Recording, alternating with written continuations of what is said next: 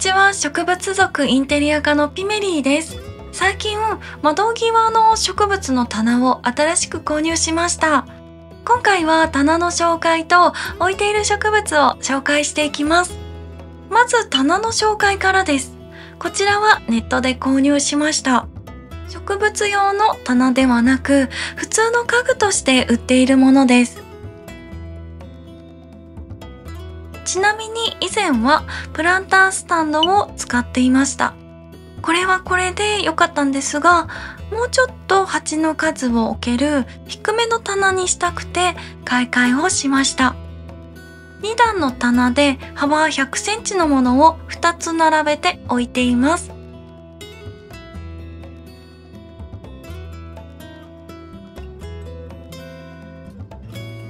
端が丸くなっているので柔らかい雰囲気でなかなかいい感じです。高さ調節などはできないので下の段には背が低めの植物を置いています。というわけで置いている植物を紹介していきます。まずはベゴニアドレゲイです。もみじのような葉っぱのベゴニアです。こちらは盆栽の鉢に入れて育てていらっしゃる方も多いそうです。ちょっと和風な雰囲気があるので納得ですよね。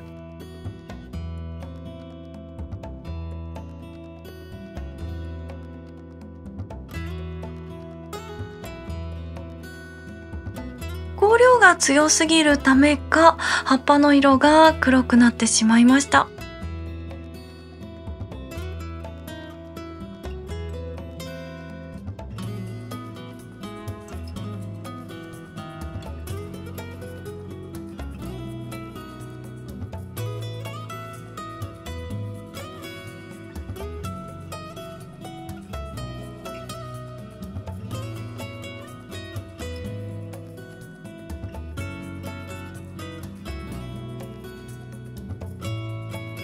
ちなみに別の場所で育てている子はこんな感じで鮮やかな緑色です。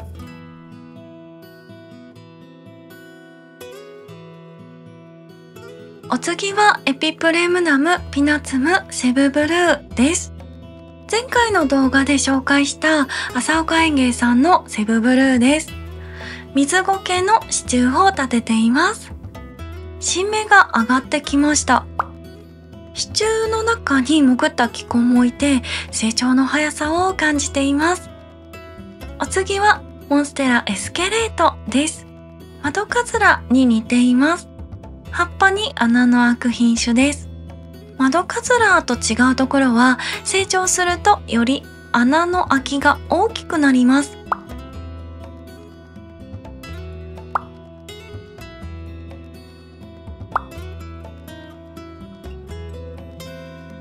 は親株から増殖させた子ですが、親株より綺麗に育ってくれています。支柱を立てていますが、支柱を無視してあっちこっち脱走して伸びていってしまうので、ラップで縛り付けを行っております。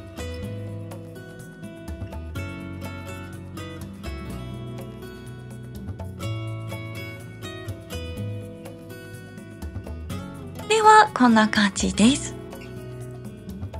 お次はフィロデンドロンスクアミフェルムです。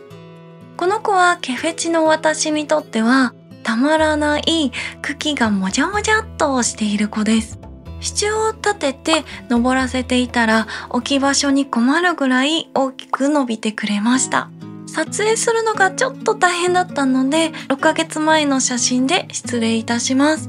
最近ではお花が咲いています。そろそろ植え替えしなきゃなと思いつつ、かなり大変な作業になりそうなので、なかなか重い腰が上げられません。お次は山崎かずらです。水槽をやってらっしゃる方はよくご存知の植物かと思います。水槽ではなく陸上で育ててみたらどうなるかなと思って実験的に鉢植えで育てています。最近では支柱の中にも葉っぱを出してきました。生命力の塊ですよね。鉢植えにした時に結構葉っぱを落としてしまってもうダメかなと思ったんですが液肥などで補うことによって今は生き生きとした新芽を出してくれるようになりました。やっぱりね水槽の中は栄養が豊富なんだなと感じました。鉢植えにして思ったことがこの子は陸より水槽の中で生える子かなと感じています。ですがもう少しこのまま育ててみようかなと思っています。お次はピロデンドロンタンゴです。長年育てています。ちょっと前に仕立て直しをしましたが光量が強すぎるので葉の色に疲れが見えます。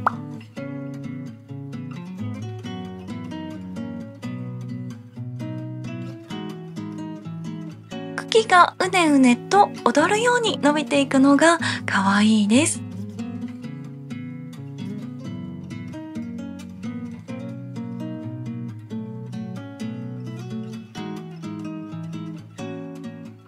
お次は支柱仕立てのポトスです。葉っぱがかなり大きくなってきました。葉っぱは20センチ以上になっています。やっぱりポトスって強くて育ちも早いので観察がとっても楽しいです。撮影中に上がっていた新芽も開いてきました。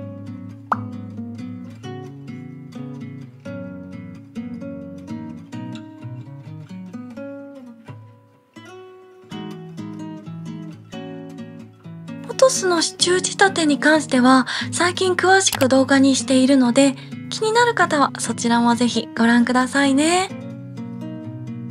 お次はシンゴニウムモヒートです。チリフの美しい葉っぱを持つ子です。一時期暗めの場所に置いていたら符がなくなってしまったんですがこちらの場所に移動したらとっても素敵な葉っぱを出してくれるようになりましたシンゴニウムの支柱仕立ては私はあまり好みではないのでこれからどうしていこうかなと思っています。水差しで育てた子との違いをご覧ください。別の植物かと思いますよね。色が全く違いますよね。こちらの子は長い間水差しで育てていたら符がなくなってしまいました。最近鉢植えにしてこちらの場所に移動させたところ斑入りの葉っぱが出てきてくれました。こちらのモヒートという品種はシンゴニウムなので暗い場所でもまずまず育ちますがもしかしたら結構光に当てた方が綺麗な葉っぱを出してくれるんじゃないかなと最近思っていますお次は下の段の植物を紹介していきますまずはベゴニアゴエゴエンシスです。原種のベゴニアで増殖させたものです。石の鉢に植えています。かなり居心地が良さそうです。ふるいにかけて出てきた細かいココチップで植え付けています。かなりご機嫌な様子です。このね、新芽の赤い感じがすっごいいいですよね。この赤い葉っぱから成長するとだんだん緑色に変わっていきます。その様子がね、素晴らしいんですよね。一度で二度美味しい、そんな植物でございます。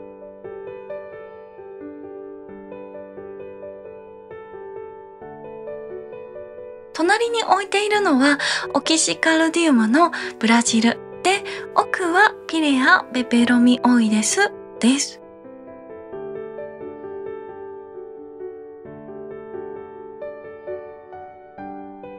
はフィロデンドロンバールマルクスの斑入りです。株分けして増やした子です。茎がぐるぐるっと飴細工になっています。高さが足りないので横に伸びようとしています。このどこまでも伸びようとする生命力素晴らしいですよね。この子は全部真っ黄色の葉っぱを出してしまったりもするんですが、割と葉っぱの寿命も長いです。育てやすくていい品種だなと思います。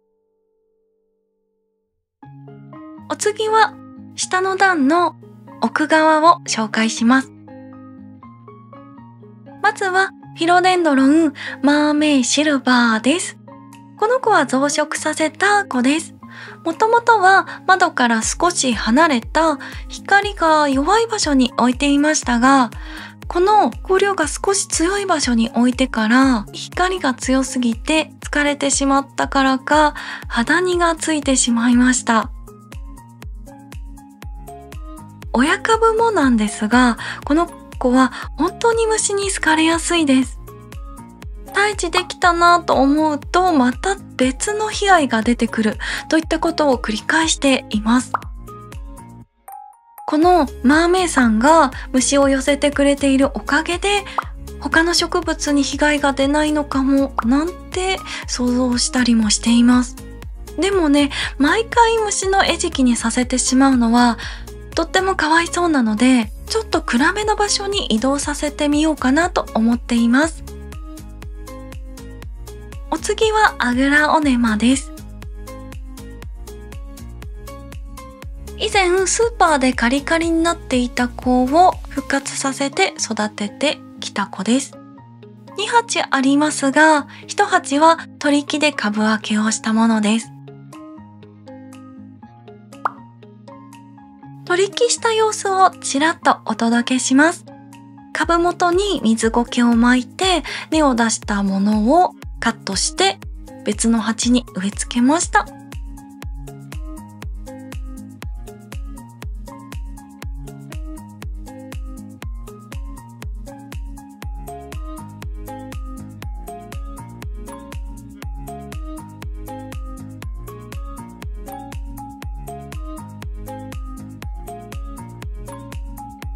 鳥木は葉っぱを失うリスクが少ないのがいいですよね。植え付けをしてから葉っぱは1枚しか落ちていません。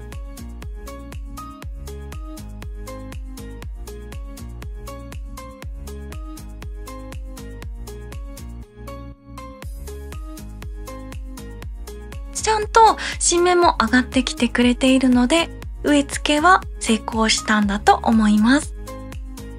アグラオデマって育てているとだんだん上に上がってきちゃいますよね。なので高さを抑えたくて取り木をしました。なんですが、結局高さのある鉢に植え付けてしまったので、あんまり意味はなかった気がします。むしろ、前より高さが出てしまった気もしています。ちょっとね、本末転倒なことをしてしまいました。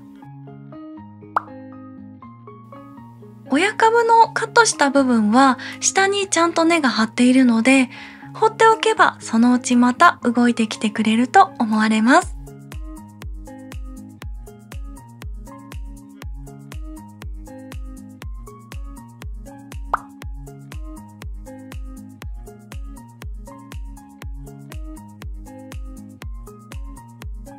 取り木の方法を詳しく知りたい方は、以前こちらの動画で説明させていただいているので、ぜひご覧くださいね。お次はフィロデンドロンピンクプリンセスです。こちらもちょっと前にカットして増殖させて植え付けた子です。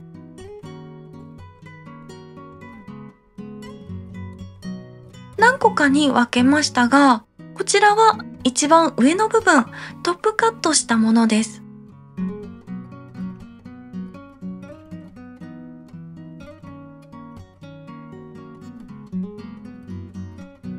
根も見えています。無事に根ついてくれて、新芽も上がってきてくれたので、順調そうです。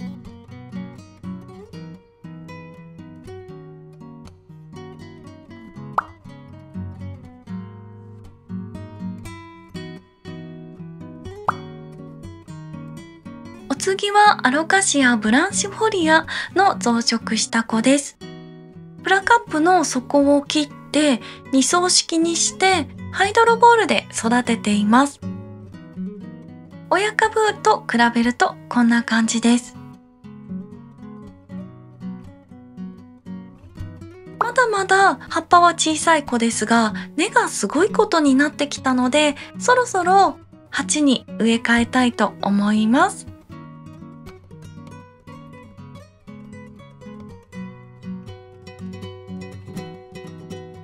次はアリ植物です。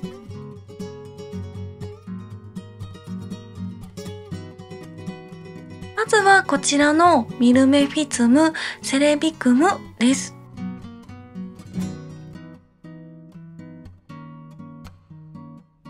購入時は1号鉢のちっちゃい子でした。置き場所やお水やりなど育て方がいまいちつかめなかったんですが、最近はちょっとつかめてきたのか、ぷくっと丸くなってきてくれました。そしてこちらもアリ植物です。伊藤アリ植物農園さんで購入させていただいた子です。同時期に2つ購入したんですが、そのうちの1つは枯らしてしまいました。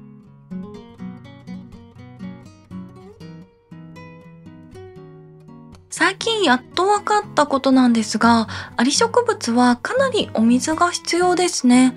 なので最近はしっかりお水をあげるようにしています。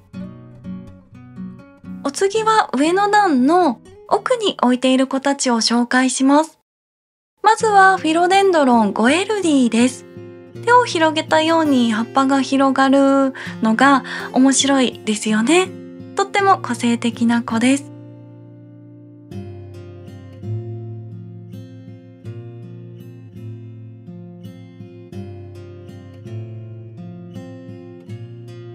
お次はフィロデンドロン69686です。お耳が可愛いですよね。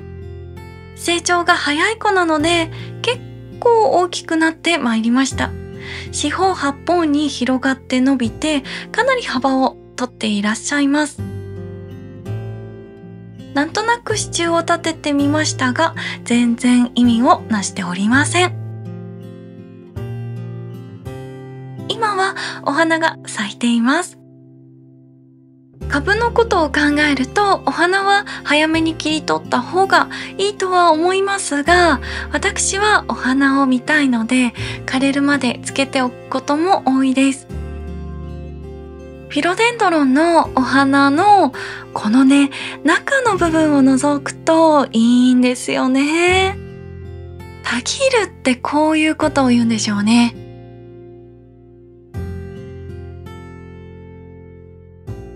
お次はフィロデンドロンホルニトアナムです。この子は先ほどの69686と似たような雰囲気のお耳のある子です。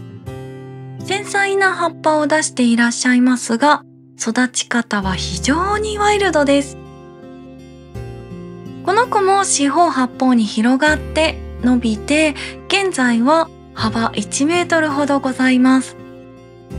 鉢にドリルで穴をたくさん開けたんですが、開けた途中の穴からも太い根を出して育っています。なんだかすごいことになってしまいました。植え替えがとっても大変そうです。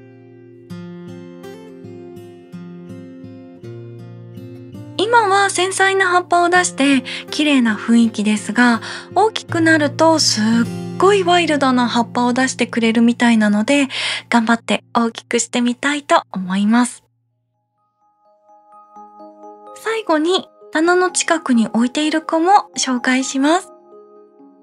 この子はフィロデンドロンプロウマニーです。横に張って伸びるタイプのフィロデンドランです。窓の方に葉っぱが向いているので、普段は全然お顔を拝見することができません。美しいお顔を拝見できないので、ちょっとね、残念なんですが、元気に育ってくれているようなので、この子のお好きな方向に育ってくだされば、私はそれで満足でございます。このプロウマニーさんは葉っぱの展開が早く、葉っぱの寿命も短いです。綺麗な葉っぱを長期間保つことも私はなかなか難しいので新芽が出てきてくれると非常にテンションが上がります。絵に描いたような葉っぱがとっても美しいですよね。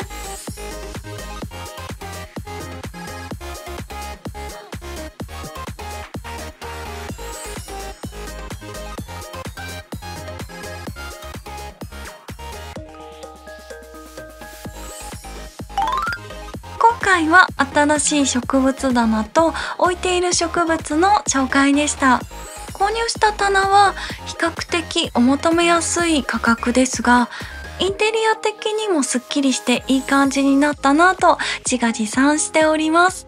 それにしても植物棚の悩みって尽きないですよね。新しく棚を増設していい感じに置けたなと思ったらなぜかすぐに満杯になっちゃうの繰り返しですよね。なぜでしょう？皆様はどんな植物棚を使われていらっしゃいますか？ぜひコメントで教えてくださいね。こちらのチャンネルでは植物の紹介や育て方、園芸ツールなどを紹介しています。ご興味ございましたらチャンネル登録して次回の動画をお待ちいただけると嬉しいです。いつも最後までご視聴ありがとうございます。また次の動画でお会いしましょう。ピメリーでした。またね